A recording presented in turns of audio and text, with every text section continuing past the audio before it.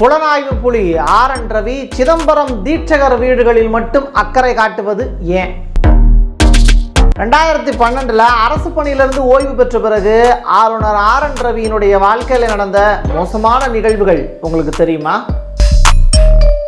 அடுத்தவங்க வீட்டு கதவை தட்டி பார்க்கறதுல அலாதி பிரியம் கொண்டவரா ஆளுநர் ஆர் என் ரவி. அவரே குழந்தை திருமணம் செஞ்சவர் தான். போக்சோ சட்டத்தில் அவரை எப்போ கவர்மெண்ட் அரெஸ்ட் செய்ய போகிறாங்க அப்படின்னு சோஷியல் மீடியாவில் வைரலாக ஒரு கண்டென்ட் ஒன்று சுற்றிக்கிட்டு இருக்கு. ஆளுநர் பேசக்கூடிய எல்லா விஷயங்களையுமே துணைவேந்தர் மாநாட்டில் பங்கேற்கக்கூடிய துணைவேந்தர்கள் காமெடியாக பார்க்கறதுக்கான காரணம் என்ன? நகைச்சுவை நடிகர் வடிவேலுக்கு போட்டியா? ஆளுநர் ஆர் என் ரவி பேசக்கூடிய விஷயங்களை தமிழ்நாடு காமெடி ட்ராக்ல மட்டுமே வச்சு பார்த்தா ஆளுநர் தனியாக ரூம் போட்டு அழுதாருன்னா அந்த பழிபாவத்துக்கு காரணம் தமிழ்நாட்டு மக்களாக மாட்டாங்களா? யோசிச்சு பாருங்க. ஆளுநருக்கு பிடிச்ச சாப்பாடு என்ன அப்படிங்கிறத கடந்த இரண்டு மாதங்களுக்கு முன்னாடியே ஆளுநர் மாளிகையில் நம்ம விசாரித்தப்போ அவருக்கு பிடிச்ச உணவு அப்படிங்கிறது தயிர் சாதம் தான் அப்படின்றாங்க. அந்த வகையில் பிரியாணி சாப்பிடக்கூடிய நம்மளை பார்த்தோம் பரோட்டா சாப்பிடக்கூடிய நம்மளை பார்த்தோம் ஆளுநருக்கு பிடிக்காது அப்படிங்கிறது எல்லாருக்கும் தெரிஞ்ச விஷயந்தான் நூடுல்ஸையும் சப்பாத்தியும் சாப்பிடக்கூடியவங்களுக்கு கண்டிப்பாக நம்ம ஊரில் இருக்கக்கூடிய அந்த உப்பு உரப்பும் ரோசமும் மானமும் அந்த இடத்துல இருக்குமான்னு கேட்டால் அவருக்கு அது கொஞ்சம் குறைவு தான் எப்போது சட்டசே பேரவையில் விட்டு அவராக வெளிநடப்பு பண்ணாரோ அப்படியே ஆளுநர் மாளிகைக்கு போகாமல் டெல்லி பக்கமும் நாகாலாந்து பக்கமும் அவர் போயிருந்தார் அப்படின்னா தமிழ்நாட்டு மக்களும் நம்முடைய வரிப்பணமும் மிச்சமாக இருக்கும் ஏன் அப்படின்னா நம்முடைய வரிப்பணத்திலிருந்து தான் ஆளுநர் திங்கக்கூடிய சோறே நம்ம கொடுக்கக்கூடிய வரிப்பணம் தான் அப்படிப்பட்ட ஆளுநர் தொடர்ந்து தமிழ்நாட்டுக்கு விரோதமாக சமூக நீதிக்கு எதிராக சனாதனத்துக்கு ஆதரவாக குறிப்பாக உயர் சாதியினருக்கு மட்டுமே ஆதரவாக அவர் பேசக்கூடிய போக்கு அப்படிங்கிறது ஆளுநர் நமக்கானவர் கிடையாது அப்படிங்கிறது தெளிவாக தெரியுது. இப்படிப்பட்ட சூழ்நிலையில் துணைவேந்தர்கள் மாநாடு ஊட்டியில் வச்சு குளுமையாக கோடை வெயில அவரை சூப்பராக கொண்டாடிக்கிட்டு இருக்கக்கூடிய நேரத்தில் தன்னுடைய வாய்க்கு வந்தது எல்லாமே ஆளுநர் பேசிக்கிட்டு இருக்கார். அவர் நாகாலாந்து மாதிரியான மாநிலங்களில் போய் ஒரு விஷயத்தை பேசினாருன்னா அங்கே இருக்கக்கூடிய பழங்குடியின மக்கள் ஆகட்டும் அதெல்லாம் ஏற்றுப்பாங்க ஆனால் படிப்பறிவு அதிகமாக இருக்கக்கூடிய தமிழ்நாடு மாதிரியான முன்னேறிய மாநிலங்களில் வந்து சில விஷயங்கள் பேசும்போது விவேகானந்தரை பிடிக்கும் அப்படின்னு அவர் சொன்னது ஓகே. ஆனால் விவேகமாக இருக்கக்கூடிய தமிழ்நாடு மாதிரியான மாநிலங்களில் விவேகானந்தரே வந்தால் கூட இங்கே சில விஷயங்களை பார்த்து பார்த்து தான் பேசணும். அப்படி இருக்கும்போது ஆளுநர் பொத்தாம் பொதுவாக சில விஷயங்களை பதிவு பண்ணிட்டு போகிறது அப்படிங்கிறது ரொம்ப மோசமான ஒரு நிகழ்வாக பார்க்கப்படுது. குறிப்பாக தமிழ்நாட்டினுடைய முதலமைச்சர் வெளிநாடு போய் முதலீடுகளை அங்கே நாங்கள் போட்டுட்டு வரோம் அப்படின்னு சொன்ன விஷயங்களாகட்டும் முதலீடுகளை ஈர்க்கக்கூடிய விடயங்களாகட்டும் அதை கிண்டல் பண்ணக்கூடிய வகையில் மக்களால் ஓட்டு போட்டு தேர்ந்தெடுத்த ஒரு முதல்வரை அவமானப்படுத்தக்கூடிய வகையில் ஆளுநர் ஆர் என் ரவி பேசியிருக்கக்கூடிய விடயங்கள் அப்படிங்கிறது அதன் மூலிமா எந்த விதமான பலனும் தராது அப்படிங்கிறத ஆளுநர் எப்படி முடிவு பண்ண முடியும்? இது அரசு எடுக்கக்கூடிய கொள்கை முடிவு. மக்களால் ஓட்டு போட்டு தேர்ந்தெடுத்த ஒரு முதல்வர் வெளிநாட்டுக்கு போய் மக்களுக்கு நன்மை தரக்கூடிய விடயங்களை செய்யணும்னு நினைக்கும் போது அதை தடுக்கிறதுக்கும் அதை கிரிட்டிசிசம் பண்ணுறதுக்கும் ஆளுநருக்கு யார் அதிகாரம் கொடுத்தா? இந்த கேள்வி ஆளுநரை பார்த்து எல்லா எதிர்க்கட்சிகளும் ஒன்றா சேர்ந்து குரல் கொடுக்க வேண்டிய நேரம் இருக்குது ஏன் அப்படின்னா தொடர்ந்து ஆளுநர் பேசக்கூடிய விஷயங்கள். தேசிய கல்விக் கொள்கைங்கிற ஒன்று தமிழ்நாட்டுக்கு தேவை கல்வி முறையில் மாற்றம் வேணும் அவர் பேசியிருக்கக்கூடிய பேச்சு.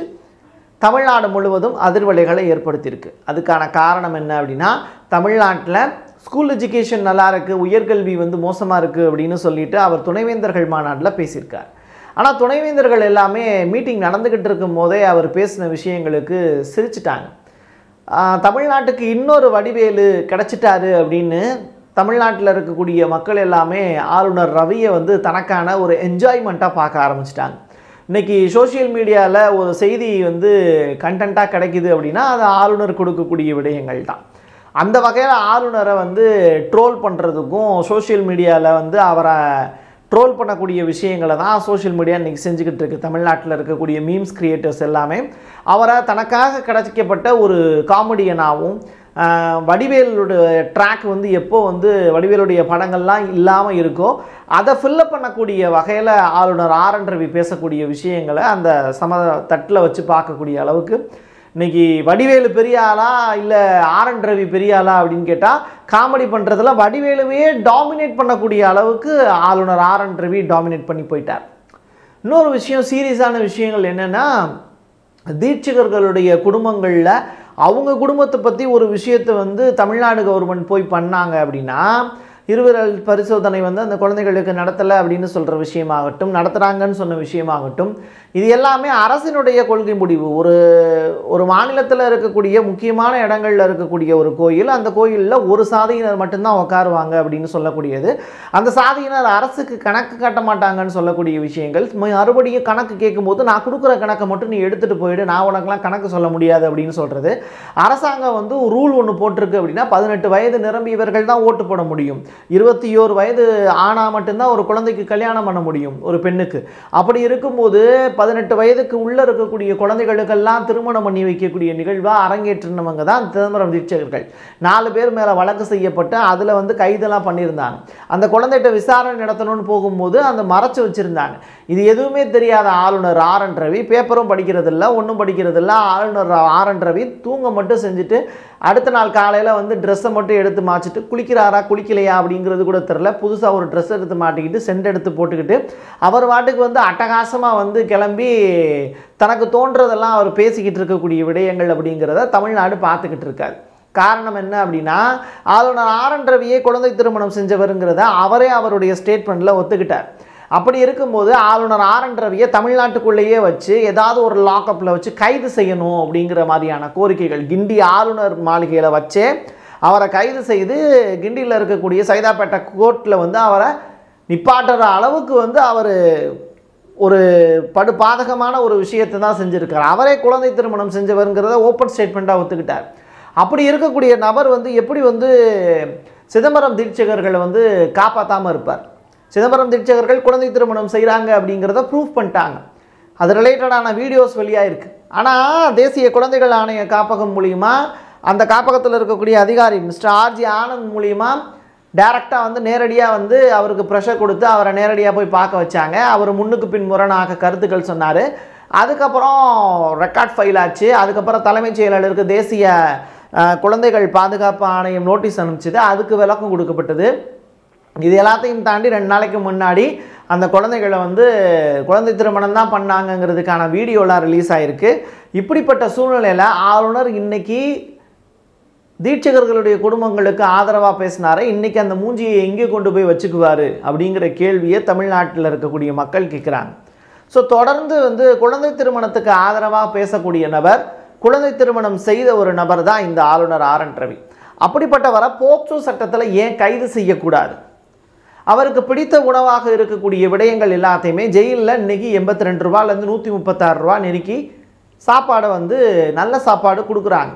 ஸோ ஆளுநர் ஆர் என் ரவி ஆளுநர் மாளிகையில் இருக்கிறதுக்கு பதிலாக சிறையில் இருக்கிறது தான் சரியாக இருக்கும் அப்படிங்கிறது தான் சோஷியல் மீடியாவில் சொல்லக்கூடிய தகவலாக இருக்குது எதுக்காக இந்த விஷயத்தை நம்ம பதிவு செய்கிறோம் அப்படின்னா இப்படியெல்லாம் பேசுவது ஜனநாயகத்திற்கு விரோதமான விடயம் இல்லையா அப்படின்னு சொன்னால் ஆளுநர் ஆர் என் ரவியே ஓப்பன் ஸ்டேட்மெண்ட்டாக ஆமாம் நான் குழந்தை திருமணம் பண்ணவன் தான் அப்படிங்கிறத அவரே ஓப்பன் ஸ்டேட்மெண்ட்டாக ஒத்துக்கிட்ட பிறகு அவரை ஏன் கைது செய்யக்கூடாது?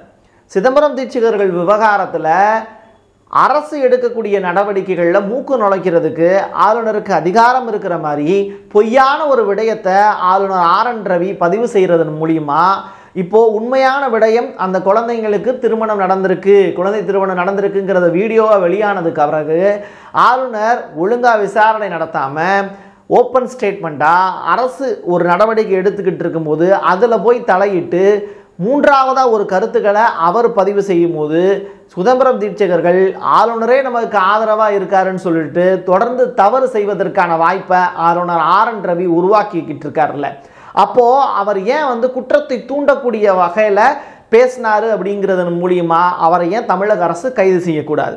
இந்த கேள்வி தான் நம்ம முன் வைக்க வேண்டிய தேவை இருக்குது இது எல்லாத்தையும் தாண்டி நம்மெல்லாம் ஒரு பக்கம் வடிவேலுவாக நினச்சி ஆரன் ரவியை கொண்டாடிக்கிட்டு இருக்கோம். ஆனால் அண்ணாமலை தனக்கான எதிரியாக வந்து ஆளுநர் ஆரன் ரவியை பார்க்கக்கூடிய சூழ்நிலை உருவாகிருக்கு அண்ணாமலைக்கு பிறந்த நாள். ஆனால் யாருமே வாழ்த்து சொல்லலை. ஆளுநர் ஆரன் ரவி அண்ணாமலைக்கு எதிராக செயல்படுகிறாரா அப்படின்னு கேட்டால் பாஜகவுக்கு எதிராகவே செயல்படுகிறார் அப்படின்னு. தங்கம் தென்னரசு அவர்கள் இடையில ஒரு பேட்டி சொல்லும்போது ஆளுநர் ஆர் என் ரவி ஆளுநர் மாளிகையில் வேலை பார்க்கறதுக்கு பதிலாக கமலாலயத்தில் போய் வேலை பார்க்கலாம் அப்படின்னு சொல்லியிருந்தார். இப்போ கமலாலயத்தில் வேலை பார்க்கறதுக்கு கூட தகுதி இல்லாத ஒரு நபராக ஆளுநர் ஆர் என் ரவி மாறி போயிட்டாரு அப்படிங்கும்போது ரொம்ப வேதனையான விஷயம்தான். அந்நிய முதலீடுகளை ஈர்க்கிறதுக்கு வெளிநாட்டுலாம் போக வேண்டிய அவசியம் இல்லை அதற்கான சூழலை மட்டும் இங்கே உருவாக்கினா போதும் அப்படின்னு சொன்னார். மோடி கடந்த ஒன்பது ஆண்டு காலமாக அதீதமான அளவில் பல்வேறு நாடுகளுக்கு போய் அதிகமான முதலீடுகளை ஈர்த்து கொண்டு வர்றேன் அப்படிங்கிறதுக்காகவும் அந்த நாடுகள் மீது நட்புறவு ஏற்படுகிறேன் அப்படின்னு சொல்லிட்டு பல நாடுகளுக்கு ட்ராவல் பண்ணார். அப்போது இந்தியாவினுடைய பிரதமரை விமர்சிக்கக்கூடிய அளவுக்கு பாஜகவால் நியமனம் செய்யப்பட்ட ஒரு ஆளுநர் ஆர் என் ரவிங்கிற ஒரு தைரியமான ஒரு மனுஷன் தமிழ்நாட்டுக்கு ஆளுநராக பாஜக காரங்களே தேர்ந்தெடுத்து கொடுத்துருக்காங்க அப்படிங்கும்போது மோடியை கேவலப்படுத்தியிருக்காரு ஆளுநர் ஆர் என் ரவி அப்படின்னு சொல்லும்போது தான் அண்ணாமலைக்கு பகீருங்குது. என்னப்பா இது தமிழ்நாட்டில் எவ்வளோ பெரிய யாத்திரைக்கெலாம் நம்ம ஏற்பாடு பண்ணிக்கிட்டு இருக்கோம்? எனக்கே டூ மந்த் டார்கெட் கொடுத்துருக்காங்க. அதுக்குள்ளே நான் ஃபில்லப் பண்ணி முடிக்கல அப்படின்னா ரெண்டாயிரத்தி இருபத்தி நாலு மக்களவை தேர்தலில் தமிழக பாஜக தலைவராகவே நான் இருக்க முடியாது. அதுக்குள்ளே இந்த பாஜகவினுடைய கட்டமைப்பை நான் ரெடி பண்ணணும். எப்படி கோயம்புத்தூரை ரெடி பண்ணணும்? அது மாதிரி வந்து தமிழ்நாட்டில் இருக்கக்கூடிய அதிமுக இருந்து அடித்து பிடிச்சி ஒரு இருபத்தஞ்சு இடங்களையாவது கையில் வச்சுக்கணும் அப்படின்னு சொல்லிட்டு பெரிய அளவில் போராடிக்கிட்டு இருக்கேன். இப்படிப்பட்ட சூழ்நிலையில் ஆளுநர் இப்படி பேசுறது அப்படிங்கிறது அண்ணாமலை அண்ணாமலையினுடைய தலையில் மறுபடியும் பெரிய மலையை தூக்கி வச்ச மாதிரி ஒரு ஃபீல் கொடுத்துருச்சு.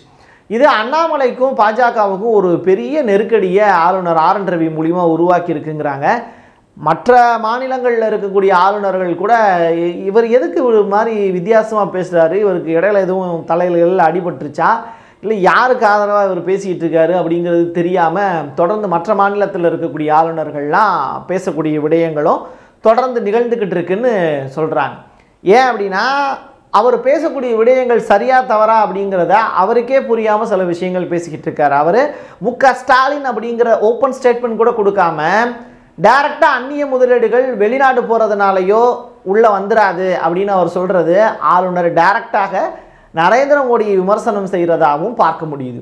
இப்படிப்பட்ட கூத்துலாம் நடந்துக்கிட்டு இருக்கிறதுனால அமித்ஷாவும் டைரக்டாக அடுத்து பள்ளிக்கரணை நம்ம சென்னை பக்கத்தில் இருக்கக்கூடிய பள்ளிக்கரணைக்கு நேரடியாக வரப்போகிறாரு அதுக்கப்புறம் மக்களவை தேர்தல் ரிலேட்டடாகவும் பேச்சுவார்த்தை நடத்த போகிறாங்க இப்படிப்பட்ட சூழ்நிலையில் அமித்ஷாவினுடைய வருகை இருக்கக்கூடிய நிலையில் நரேந்திர மோடியவே ஆளுநர் ஆர் என் ரவி விமர்சனம் செஞ்சுருக்கிறது அப்படிங்கிறது பாஜக காரங்களும் அண்ணாமலையும் ரசிக்கலை அப்படின்னு சொல்கிறாங்க இன்னொரு புறம் என்ன அப்படின்னா ஆளுநர் ஆர் என் ரவி ஒரு ஸ்டேட்மெண்ட் சொல்கிறார் எனக்கு எப்போ சலிப்பு ஏற்படுதோ அப்போவே நான் பதவியை விட்டு விலகிடுவேன் அப்படின்னு சொல்கிறார் ஒரு புலனாய்வு புலியாக இருக்கக்கூடிய ஆளுநர் ஆர் என் ரவி நாகாலாந்திலிருந்து ஏன் மக்கள் துரத்தி அடித்தாங்க அப்படிங்கிற கேள்வியை கேட்க வேண்டியது இருக்குது ரெண்டாவது மோடி அவர் கிண்டல் பண்ணியிருக்காரு அப்படிங்கிற ஒரு விடயத்தை தாண்டி தனக்கு எப்போ பதவியை விட்டு போகணும் அப்படின்னு தோணுதோ அப்போ போயிடுவேன்னு சொன்னார்ல.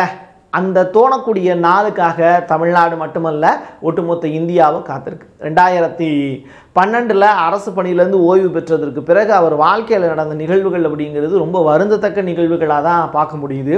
காரணம் என்ன அப்படின்னா அவர் விரும்பின துறையை விட்டுவிட்டு அவர் புதியாக அவருக்கு சம்மந்தமில்லாத பத்திரிகை துறையை அவர் தேர்ந்தெடுத்தது அப்படிங்கிறது அவருக்கான ஒரு பெரிய நெகட்டிவ் தான்.